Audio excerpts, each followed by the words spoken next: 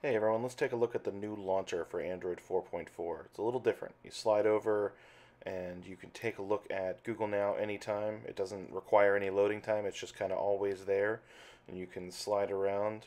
Uh, you can long press on the screen and get access to your wallpapers, your widgets, and your settings. Uh, these are usually uh, put in different places in other versions of Android, but uh, they're all in one place here. And you can slide over and, and select your widgets and drop or get quick access to uh, the specific uh, settings for Google Now and, and voice search and things like that. Um, you can go ahead and long press if you want to add screens. Um, but you add screens by having content in those screens. So basically, you take an icon or a widget and you drag it over to what would then be an empty screen, and you'll have access to that screen. Uh, you can put as many different widgets uh, as you can fit. They can be the same icons or widgets, and then you can slide around. When you remove something from that page and there's nothing left on that page, the page disappears. So if you have nothing in your other panels, you're only going to have the two panels to work with.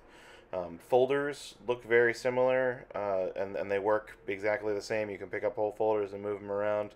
Uh, you can fit the same number of icons in a folder, despite the fact that the icons are a little bigger in uh, Android 4.4. Your notification shade is going to work pretty much exactly the same. One finger down gets you basic information, two fingers down gets you your quick toggle settings. Uh, all of this information here is pretty similar to how it worked before. Obviously, you can say OK Google or tap the microphone icon uh, to look up any information that you're looking for uh, from the home screen. This only works on the home screen. It doesn't work when the screen is off or if you're in another menu, uh, which can end up being a little on the disappointing side.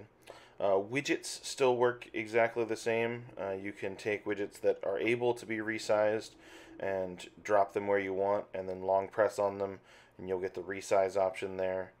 Um, so, you know, essentially what you're looking at here, uh, you know, is, is a single widget taking up the whole screen and then you can drag and remove. And as was introduced in the last version of Android, you can take and flick and uh, get rid of anything that you've got going on there.